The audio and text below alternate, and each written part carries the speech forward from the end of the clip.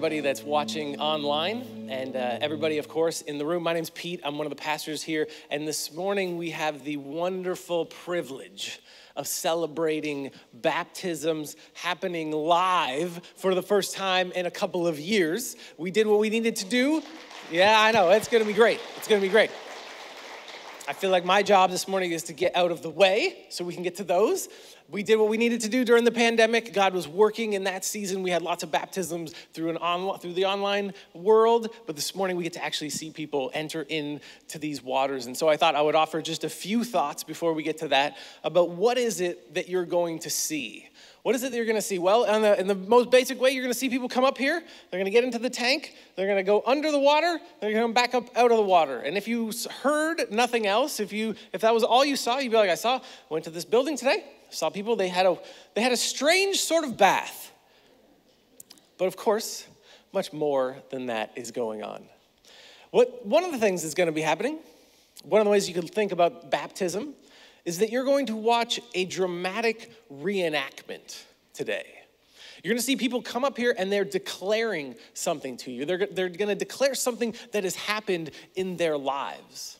And what they're declaring is that they are, have placed their trust in Jesus and they have placed themselves in Jesus and they want to identify with his death and his resurrection. Jesus died and then three days later was resurrected. They're coming up here to say, I want to identify with that. I want to declare to all of you that I'm placing my trust in what those actions meant. Paul, when he writes a letter to the Romans, he says it this way Don't you know that all of us who were baptized into Christ Jesus were baptized into his death? It's kind of strange language if you haven't heard that before. Baptized into his death. That doesn't sound like something that I want to sign up for necessarily. We were therefore buried with him through baptism into death, in order that, just as Christ was raised from the dead through the glory of the Father, we too may live a new life. The people that are coming up here this morning are declaring, I am in Christ, and I am identifying with Christ's burial and his resurrection. So one of the things that they're saying, which is which is quite odd in our culture, is that they're declaring there's actually something wrong with me. That when I look inward, I don't see everything's fine. Everything's fine. I'm a great person, crushing it in life in all areas. In fact, when I look inside, I find I find actually that there's a there's darkness inside of me that there's selfishness inside of me, that there is greed inside of me, that there's hate and unforgiveness inside of me, that there's shame that I carry around for the way that I have lived my life. That's actually what I see when I, when I look inside, and, I, and I, there's a helplessness that I have to correct it or to pay for any of it. And so, what you're gonna see when people come up here this morning is that they are saying, I, I, identify all of those things and I, and I want them to die. I want to put them off. I want them to no longer be a part of me. And Paul says there's a way that you can do this. You can identify with the burial of Jesus. And in identifying with that, you are trusting that Jesus, in his death, paid for all of your sins. And by saying, I want to identify with that, you're saying, I trust that his payment was enough.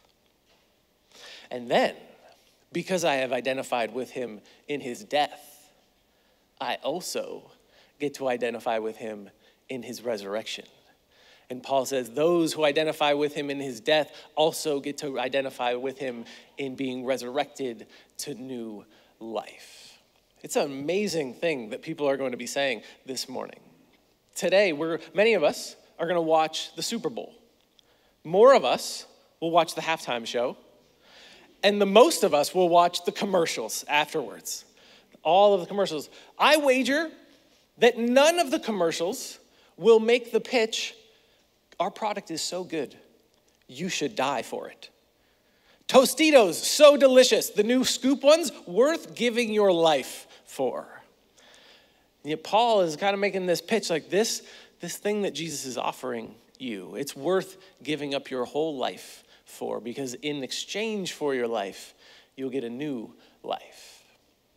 One way that you could look at what's going to happen today is that there's two actions happening. There is a there is a trust in Jesus as your savior. As your sin forgiver. That's the going under the water. I'm going to trust that this death and identifying with Jesus' death, that covers my sins. I'm going to trust Jesus as my Savior, as my sin forgiver. And then there is the action of coming up out of the water, which is declaring or, or, or saying, I, I, I want to identify with this new life that Jesus is going to lead me into. That I'm making Jesus my leader, my Lord, my King.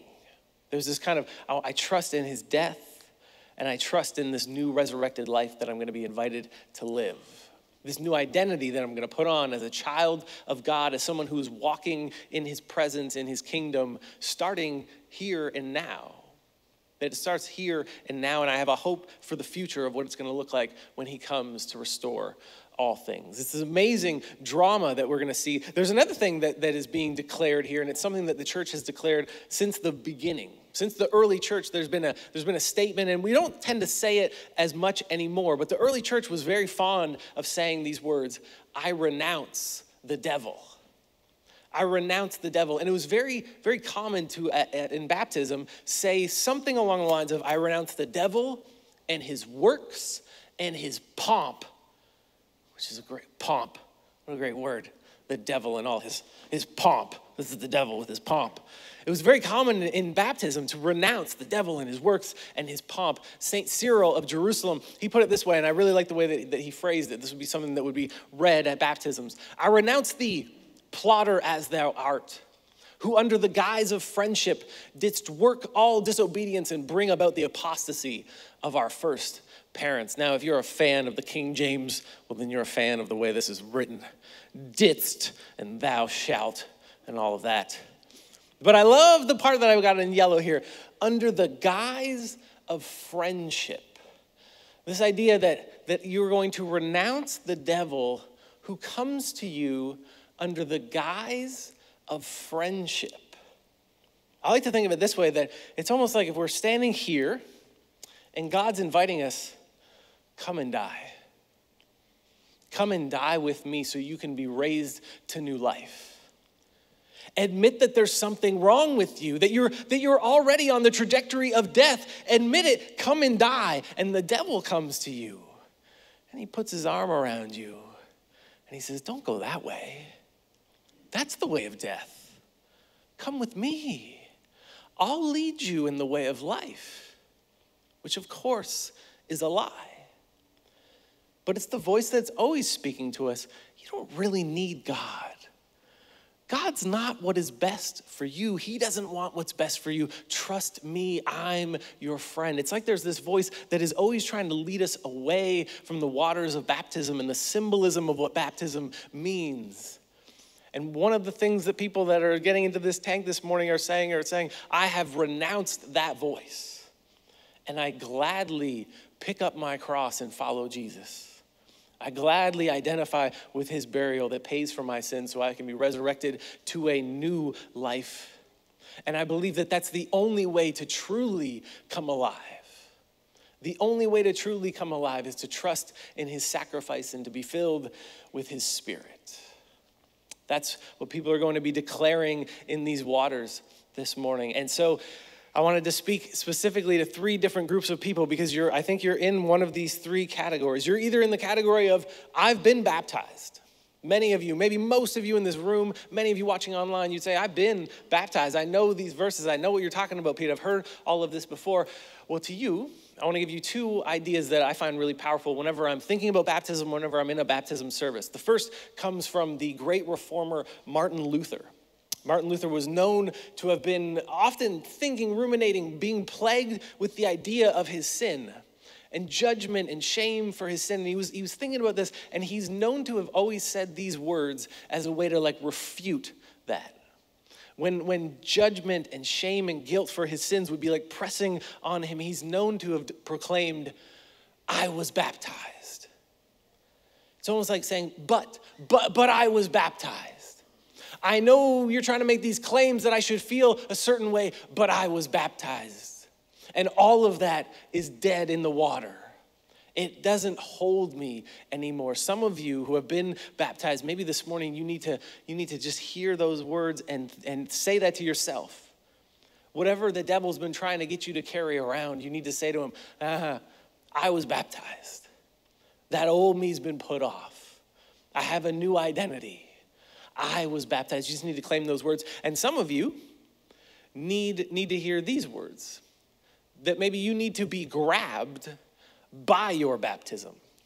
I heard someone say that phrase before. I can't remember if it's like an old church father or I heard it in a sermon, but I heard it somewhere. It stuck with me. Sometimes we need to be grabbed by our baptism, which is to say, you once got into these waters. There was a moment in your life where you proclaimed to the community, I'm a follower of Jesus, I'm giving my life to him.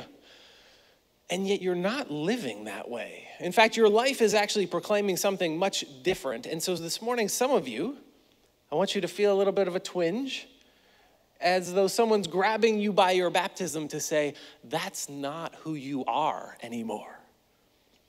Live up to who you said you were going to be at your baptism. Some of you maybe know somebody and with filled with love and because you have a great relationship with them, you need to grab them by their baptism and say, "What are you doing? What are you what are you doing with your life? This is not who you proclaim to be. And you need to grab them by their baptism and say, You were baptized. This is not who you proclaim to be. Some of you are in that camp. I was baptized. And I want to just give you those two phrases I was baptized. Or maybe you need to be grabbed by your baptism. Some of you would say, I'm a follower of Jesus. I gave my life to him, but I'm, I'm not baptized. And to you, a couple things. One, baptism doesn't save you, faith saves you. It is your trust in Jesus that saves you, which is maybe why you haven't got baptized. Because you heard that and you said, oh, well, great. I'm already, you know, I'm reconciled to God. Why do we need to do the ritual, the fancy water thing? A couple things then, if that's what you're saying. Well, one, you're saying you're a follower of Jesus, and yet you're not following one of the things that he told us to do. You get the, there's a little contradiction there? I am a follower of Jesus. Good. One of the first things he said to do after you become a follower, get baptized. Well, no, I'm not doing that. Well, then you got a problem because you're not, you're saying you're following, but you're not following. But maybe the, the more, the more appealing way to think about it is that does Jesus ever command us to do something that isn't good for us? No. He wants what's best for us. He knows what's best for us. And so if he commands us to be baptized, then perhaps you could look at these waters as a gift. That mysteriously, in this symbolic act, there is a gift for you. And perhaps the gift will be that you will get to take something that was a moment of prayer between you and God. Perhaps it was a very personal moment where you gave your life to Him. And perhaps the gift is that He will give you something very tangible to look back on. We're like, I don't know. I said the prayer. Did I say a prayer right? Did I say the right words? By the way, there is no like magical prayer. We're not like superstitious about a magical prayer. But you may wonder, like, was that moment tangible enough? And maybe God gives us this, this tangible expression as a gift so that you could look back and go, I don't know exactly when I gave my life to Him, but I know exactly when I declared it to the community. Maybe there's a gift waiting for you here in these waters. And so, for those of you who are followers and are not yet baptized, I feel confident enough to say, don't just think about it, do it. Jesus commands us as his followers to get baptized. And then the last category, maybe you're here and you're saying, I'm not even a follower. Maybe you're watching and you're saying, I'm not even a follower. I'm a friend of someone who's getting baptized today. I want to make sure that you know that the invitation is always open to you. The invitation to place your trust in Jesus is always open. It's as simple as saying, Jesus, I trust that your sacrifice on the cross is enough to pay for all of my sins. And I want to make you the Lord of my life. I want to give you my whole life and put my trust in you. It's as simple as saying that. And if you have lots of more questions around what does that mean? How do I do that? What, what is that? What else does that entail? We would love to walk with you in that process. We'd love to, whether you're online and you want to type something in the chat, whether you want to find me in the lobby afterwards, whether you want to send an email to somebody at the church, we would love to walk you through that process so that maybe one day you too will enter into these waters of baptism.